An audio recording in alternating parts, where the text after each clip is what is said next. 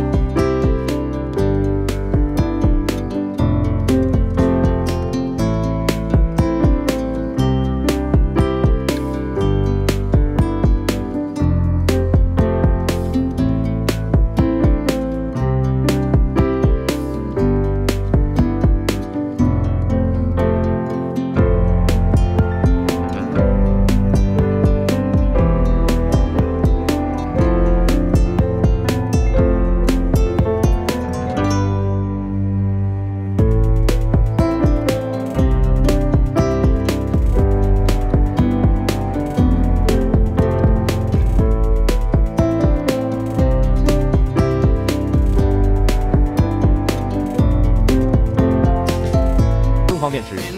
喜欢吃西瓜的，抓紧学起来，按照这三个切西瓜方法更方便吃。